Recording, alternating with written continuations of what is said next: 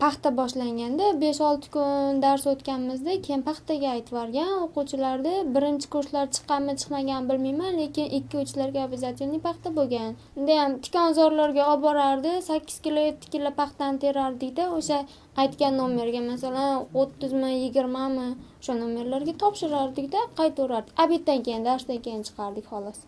Nechi kun chiqdik? Hmm, bir o'n besh kunmi e, hammasini hisoblagandada orada darslar bo'lardi. Obeddan keyin olib chiqardi. E, kecha yaqinda besh olti kun oldin ertalab olib chiqqan uch to'rt kun.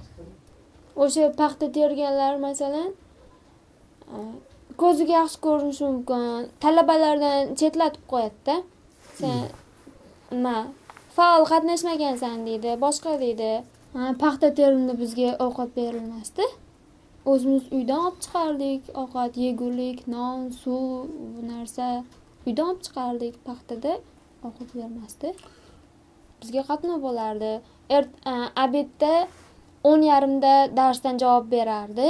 Dars o'tardik. Ikkinchi para yarmigacha dars o'tib keyin javob berardi. o'n ikkigacha avtobus yonida bo'linglar derdi. Avtobus yoniga kelardikda talabalarni yig'ib olib ketardi.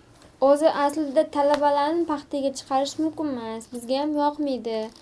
O'qishga topshirganimizdan keyin o'qishni xohlaymiz unaqa qilib paxtaga chiqarib dars yarmini o'tib yarmini o'tmasdan dalada yurish hech qaysi talabaga yoqmaydi deb o'ylayman. Paxtaga chiqarmasligini xohlaymiz. Hamma aytadi domla deydi shunaqa shunaqa sharoitim yo'q domla unday domla bunday deb hamma o'zini problemasini aytsa ham bugun chiqinglar deydi. Bugun chiqinglar bugun ko'rinib kelinglar.